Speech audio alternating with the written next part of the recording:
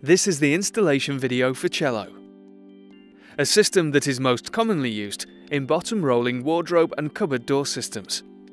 Cello is capable of taking timber, timber framed, and composite doors weighing up to 25 kilograms each. The kit Top and bottom rails Screw pack Bottom rollers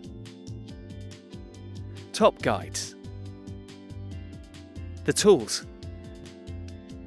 Drill. Tape measure. Screwdriver, manual or electric. Set square. Attaching the hardware. Firstly, we need to fit the hardware to the door. The bottom rollers are to be positioned 100mm from each end of the door. Mark the two 100mm positions with a pencil on the bottom of the door. Using a set square, draw a line on the face of the door that the bottom rollers are to be screwed to. This will help line up the roller's central screw hole onto the 100mm positioning line. Position the hardware on the surface of the door, and then using a pencil, mark out the position of the pilot holes for attaching the rollers.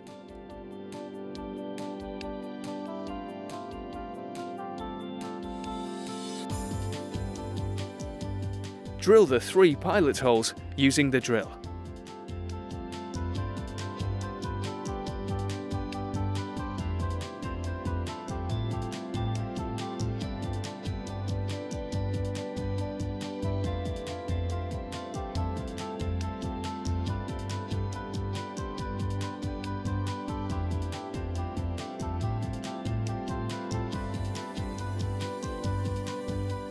Position the hardware over the three pilot holes and line the bottom of the roller plate with the bottom of the door. Using the electric or manual screwdriver, screw the bottom rollers into position using the screws provided in the screw pack.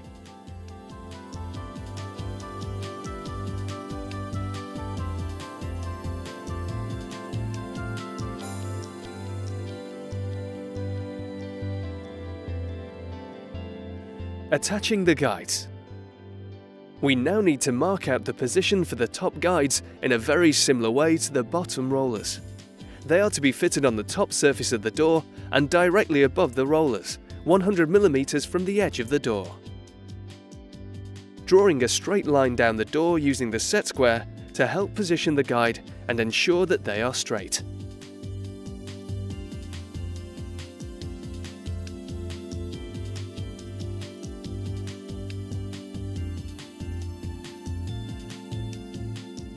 Position the guide on the surface of the door, and then using a pencil, mark out the position of the pilot holes for attaching the rollers.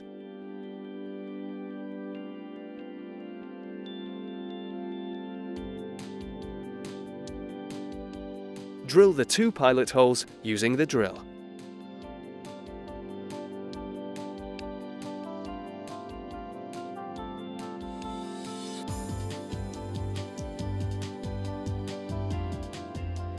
Position the guide so the top of the guide body is level with the top of the door.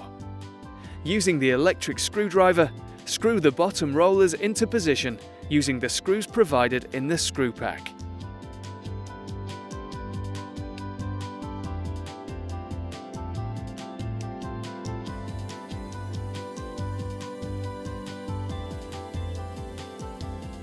Attaching the top track.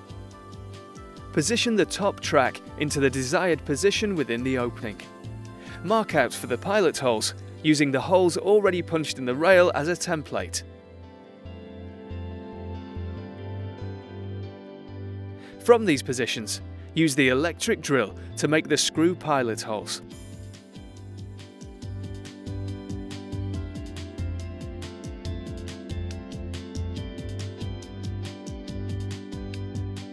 Using the screws provided in the kit, attach the rail to the lintel. You can use an electric or a manual screwdriver to do this.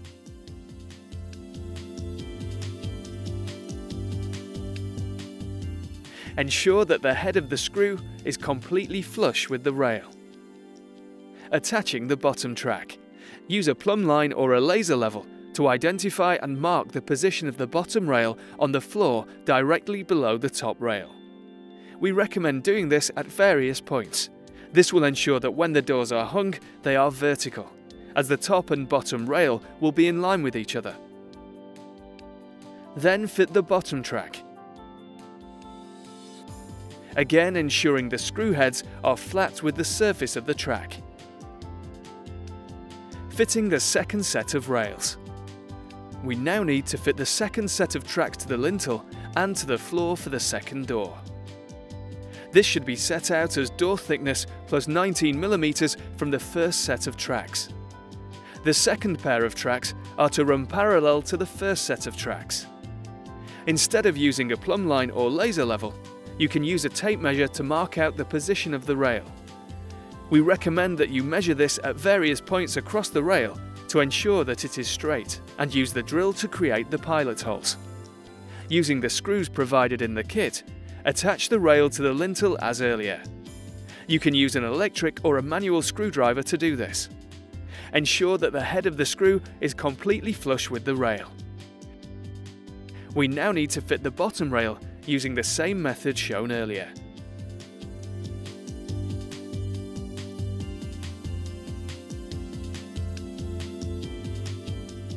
Fitting the doors. Fit the back door first. Lift the door and position the door's bottom rollers onto the bottom track. Hold the door upright and line the top guides with the top track and push the guide sliders up to encapsulate the top track. Repeat the installation procedure for the front door. Slide the doors to ensure correct operation. If the doors need to have their height adjusted, this can be done by moving the bottom roller's position along the slotted screw holes. Once happy with the door's position, use the final top screw to secure the bottom roller into place.